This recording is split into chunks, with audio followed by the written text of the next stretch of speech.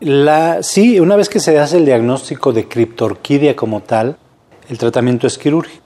Hay algunas otras problemas del testículo que pueden no requerir cirugía y que se pueden llegar a confundir con la criptorquidia.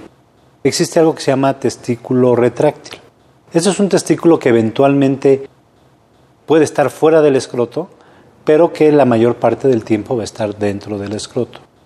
El testículo está rodeado por una capa muscular que se retrae y eso puede subirlo y sacarlo del escroto en ocasiones. Pero, le digo, hay que diferenciar el testículo retráctil de la criptorquidia y eso, bueno, se hace a través de la exploración que hace el cirujano pediatra.